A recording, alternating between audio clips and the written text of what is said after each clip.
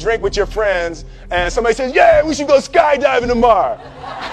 And you go, yeah, we'll go skydiving tomorrow. Yeah, yeah. And you go, yeah. And everybody goes, yeah. So then that night you're laying in your bed and you just keep, and you're terrified. You keep imagining over and over again jumping out of an airplane and you can't figure out why you would do that. You wake up the next day and you go, you know, down and you say where you were going to meet and everybody's there. So you get in the van and you're like, oh my God, oh my God and your stomach is terrible. You can't eat and everything, but you don't want to be the only punk who doesn't jump out of this airplane. So you fly and you go up, you go up, you go up, you go up to 14,000 feet, and somebody opens the door. And in that moment, you realize you've never been in a freaking airplane with the door open. And you're looking out down to death. And they say, on three.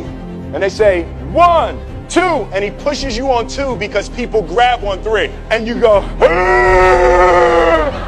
and you fall out of the airplane, and in one second, you realize that it's the most blissful experience of your life. You're flying. There's zero fear. You realize that the point of maximum danger is the point of minimum fear. It's bliss. Why were you scared in your bed the night before? Why did you, what do you need that fear for?